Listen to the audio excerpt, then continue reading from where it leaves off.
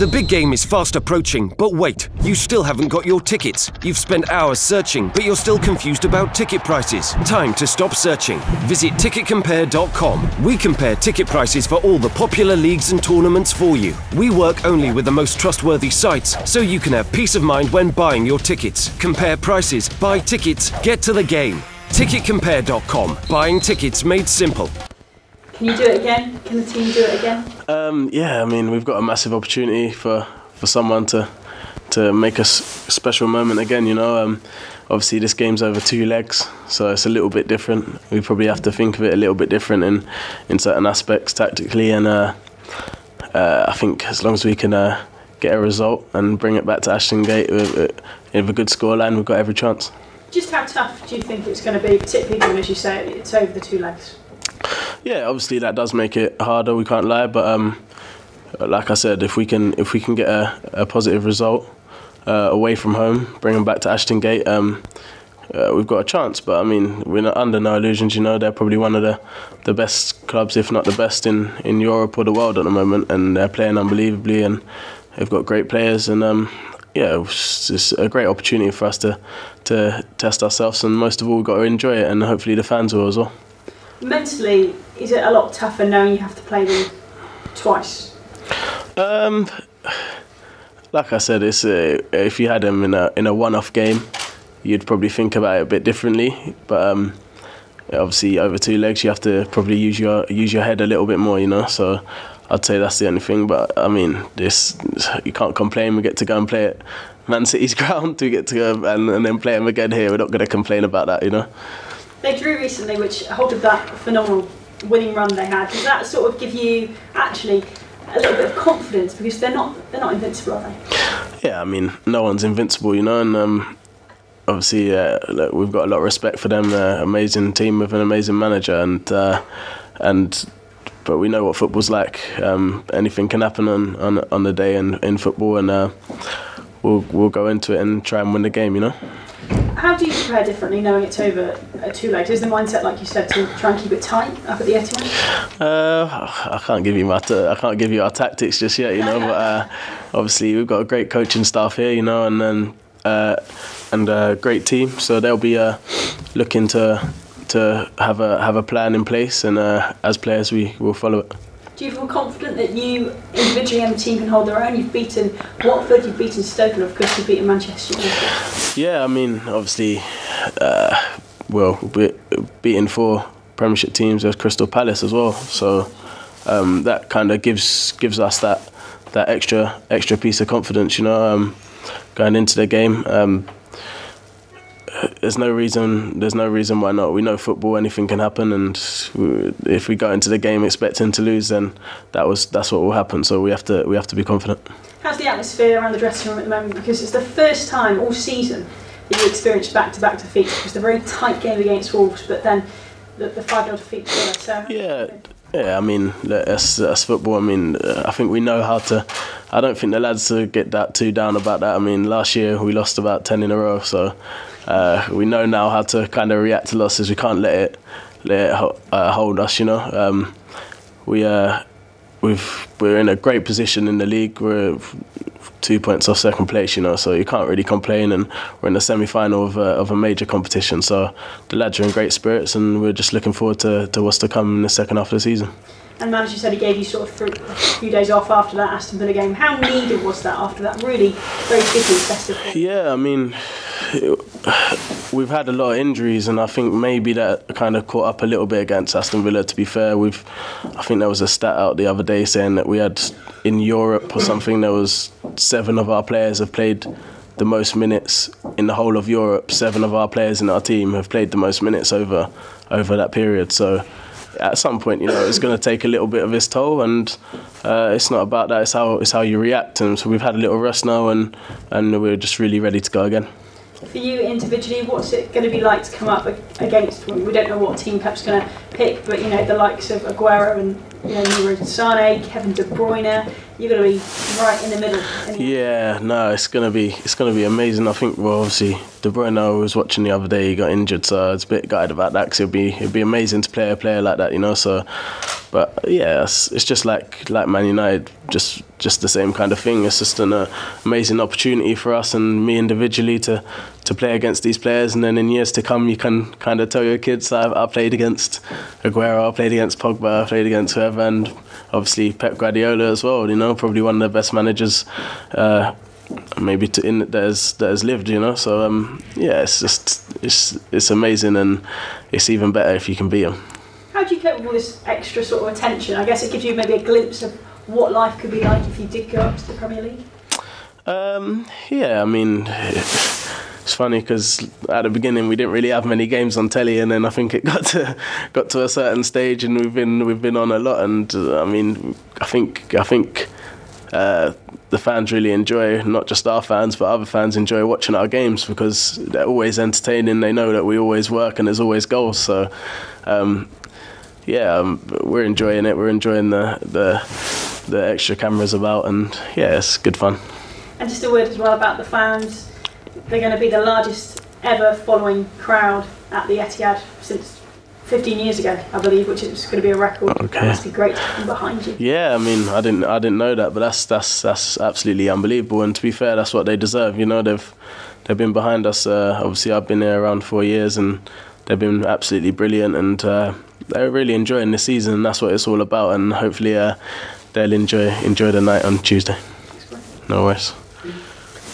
Korey, a few years ago you were playing not far away from Man City's ground, but a long way away. How do you reflect on the last few years and, and, and how far you've come to be, you know, at the Etihad on Tuesday? Um, yeah, no, it was, uh, yeah, it was literally around the corner. To be fair, I used to drive past it quite a lot. Um, never, never actually played there. Um, went to watch a game there. Uh, I think it was a Champions League game against against Bayern Munich. Um, but yeah, it's just uh, it's just unbelievable and um, just since I've come to come to this club, um, just enjoyed every moment, and the club's just every year grown and grown. We got our promotion and uh, took steady steps, and, and now we're we're really trying to trying to push on and become a big club in the in this league, and you never know what can happen. So um, it's been a it's been a great three years for, for the club and for myself personally. Your self belief by playing against these top teams and Man United last time out and now in amongst some other world class players. What, what does that do for you and your belief in what you're capable of? Yeah, I think I think for the for the whole squad it's been brilliant because I think in the cup games uh, a lot of the young players have played in the early stages against Watford and and uh, everyone's kind of been involved and scored and you know we had young players score we've had young Freddie and we've had uh, players all, all around the squad uh, contributing. You know, so it's been a it's been a great a great uh, thing for for the whole squad as a whole, and uh, yeah, for my personal self belief. I mean. scoring the winner against Man U. I mean, I don't, I don't think you can get much more confidence after that, you know. So, um, yes, it was, it was a, it's a, it's a great thing for, for myself and the club right now. And when we think about today's game, and, and, lots of people follow football, lots of people like play FIFA, and probably lots of people probably choose Man City and their players. You think in, in, in not too distant future, a few more people won't be playing, picking Bristol City as their sign?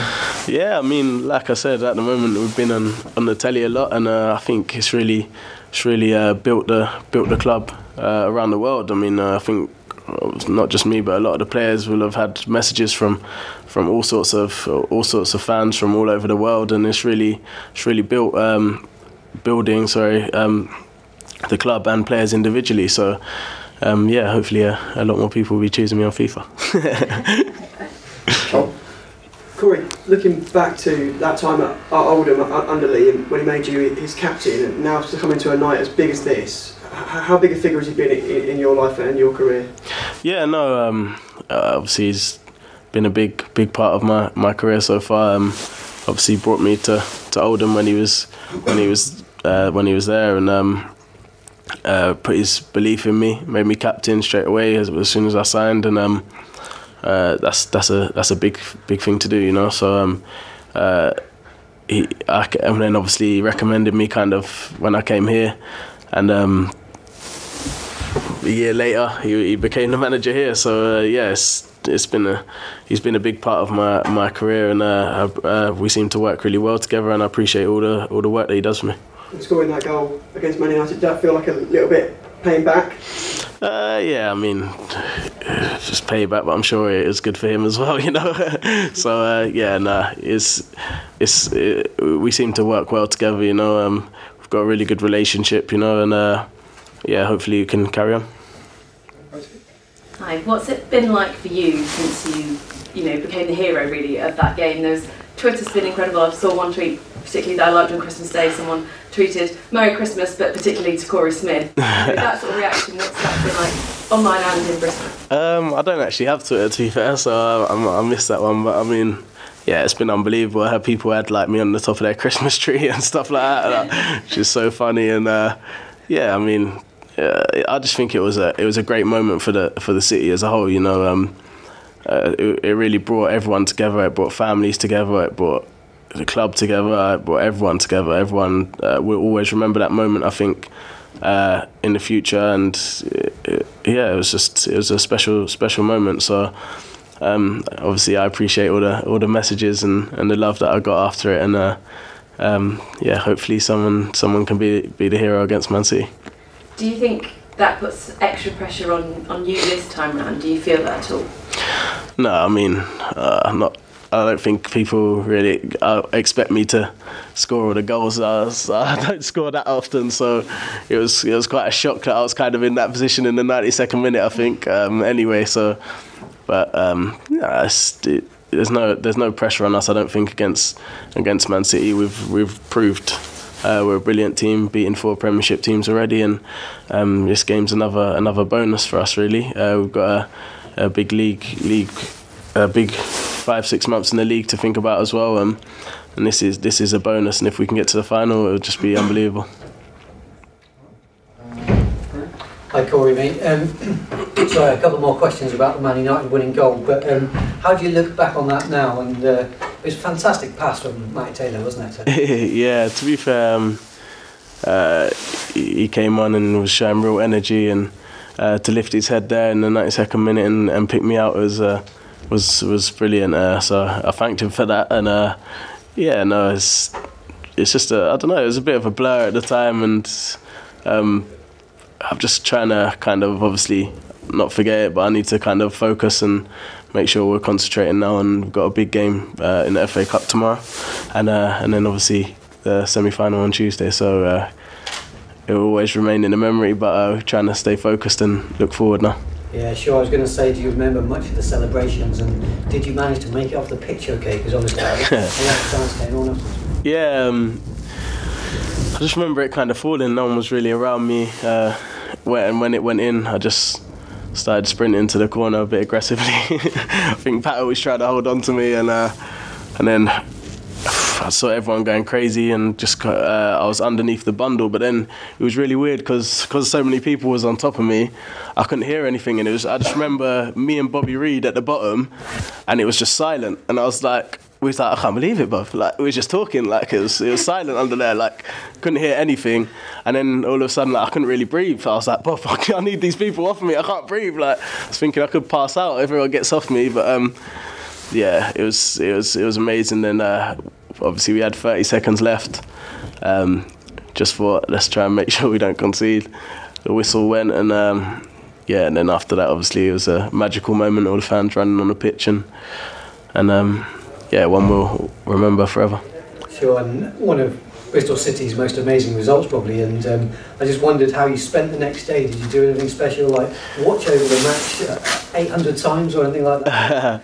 To be fair that night I couldn't I didn't really sleep much you know I couldn't really sleep. I was uh, I was up most of the night. I've got a, a newborn baby so it wasn't my missus was buzzing. She went to bed I was just feeding feeding him so um, yeah to be fair, I'd, everyone was messaging me saying, "Oh, enjoy your night, like go and have a drink," like uh, fans and stuff, and. Uh, but we had a game the next few days, so it was straight to it was straight in the next day, getting massages and preparing for the next game. So um, yeah, there was no there was no big celebrations and stuff, but um, obviously uh, enjoyed it a lot. Nice one, cheers, mate. No worries. Hi, Charlotte from Hi, okay. I was just wondering, Lee was just saying a minute ago that he'd been recommended some meditation to help sort of prepare for the match, and I don't think he's going to be taking it on. But I wondered what your sort of routine would be on Tuesday. Have you got anything that you do before big game? Um, I think just we'll not really change what we've been doing. You know, we've, we, I don't think we we should uh, try something different uh, as we've, like I said, had a great run so far and beaten beaten top teams. So I mean, we just got. I think we went into the last game and kind of we our mentality was just to relax and and just think this this game we haven't got any pressure on us. You know, we're expected to lose as we probably expected to lose against Man City. Uh, so just go and enjoy it and just relax and uh, work as hard as you can. And I think that will be that will be the same kind of thought process going into this game. Let's go to Watford.